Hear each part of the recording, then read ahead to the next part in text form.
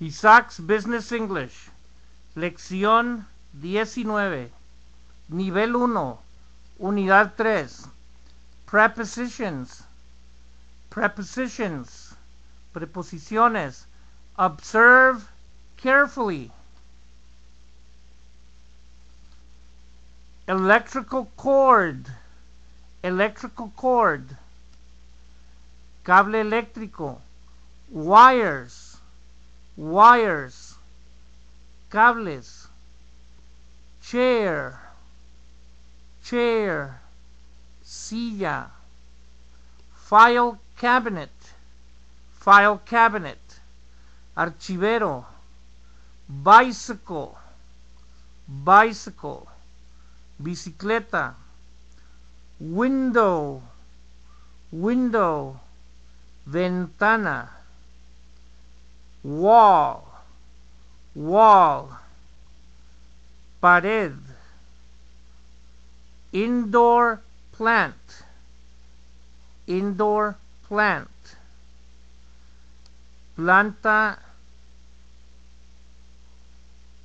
keyboard, keyboard, teclado, monitor, monitor, monitor, speakers, speakers, bocinas. Ahora observen el uso de las preposiciones. On, on, sobre. The speakers, the monitor, and the keyboard are on the table. The speakers, the monitor, the keyboard are on the table. Please repeat. The keyboard, the speakers, the monitor are on the table. Under, under, abajo. Please repeat. The electrical cord, the wires, and the chair are under the table. The electrical cord, the wires, and the chair are under the table. Next to, next to, junto a, o al lado de, next to. The speakers are next to the monitor. The window is next to the wall. The file cabinet is next to the bicycle. The bicycle is next to the wall. Una vez más, the speakers are next to the monitor. The file cabinet is next to the bicycle. The bicycle is next to the wall. Between, between, entre o en medio. The bicycle is between the wall and the file cabinet. Repeat. The bicycle is between the wall and the file cabinet. The file cabinet is between the bicycle and the table. The file cabinet is between the bicycle and the table. Practiquen, repasen el video Isaac's Business English. Lección 20. Nivel 1. Unidad 3. Conversation Practice. Repeat and memorize. Repite y memoriza. Pamela, are these your bags? Pamela, are these your bags? No, they aren't. Ask that girl. No, they aren't. Ask that girl. Excuse me, are these your bags? Excuse me, are these your bags? Yes, they are. Thanks a lot. Yes, they are. Thanks a lot. You're welcome. You're welcome. Now talk to me.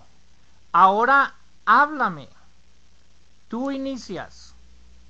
¿Listo?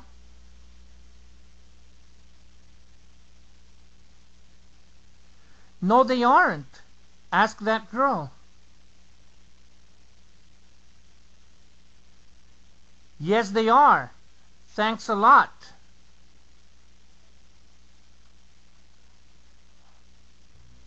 Repeat and memorize. Repite y memoriza.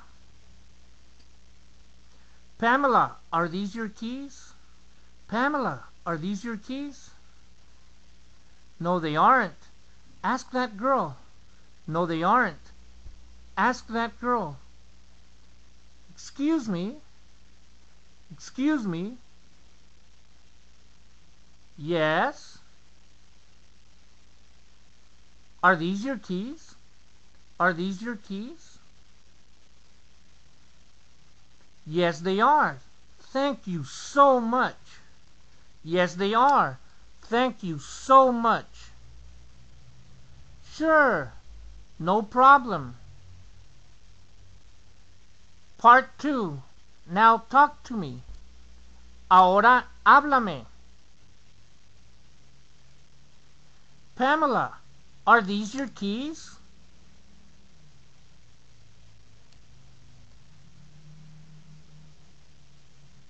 Excuse me. Are these your keys?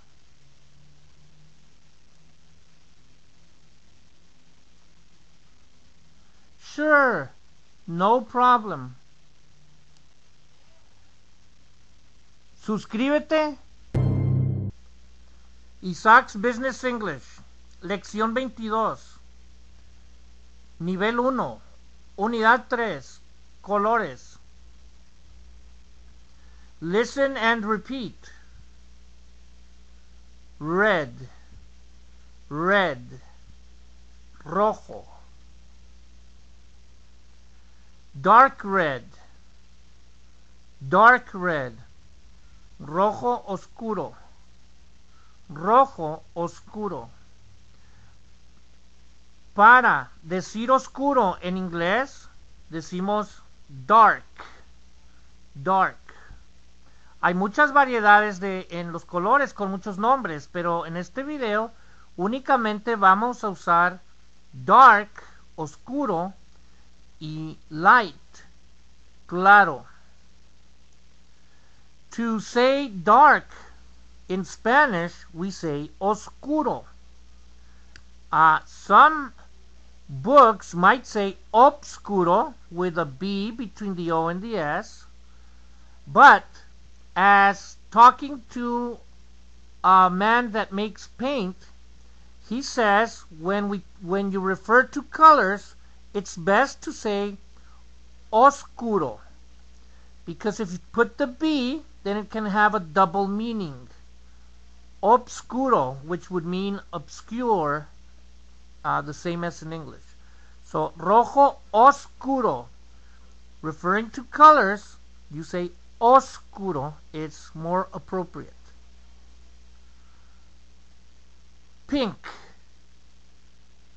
pink rosa, rosa, yellow, yellow, amarillo, amarillo. Yellow se dice como si fuera I latina, no es yellow, no, es yellow. Yellow. Orange. Orange. Anaranjado. Anaranjado. Here, some people might say that it's naranja. But if you say naranja, that is also the name of an orange. So in order not to confuse it with a fruit, the best name is anaranjado. Anaranjado. Light green. Light green. Verde claro. Verde claro. Green. Green. Verde. Verde. Learn to roll your R's. Brr. Verde.